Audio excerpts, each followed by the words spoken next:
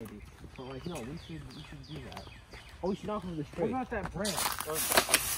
Oh my, he just kicked a tree. He's It's going down. Dude, there's a house right there. Ooh, ooh. Oh, that was a wacky centipede. It was, it was like. Oh, there is a house. Paul, this is like private property. I'm pretty. I don't know There's a copter. I hear a copter. It's a chopper. It's a chi- it's- It's coming for us. I don't, I'm gonna be. I'm not showing my face, so I'm not gonna get incriminated. Of course. Oh my, he's trying to. No. Paul, this is this is a genuinely terrible idea Why? because this is someone's tree. No, it's dead. Look. Well, It doesn't matter if it's dead. It's...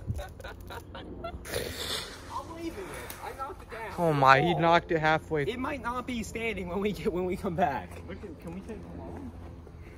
I don't see why not. Ooh. You know, anything around your property, I think we should take. This is someone random's property. If the three of us try, we could roll and we definitely find something. Yeah. Go find two other people to do it with. Did you say you only need two trees, Paul?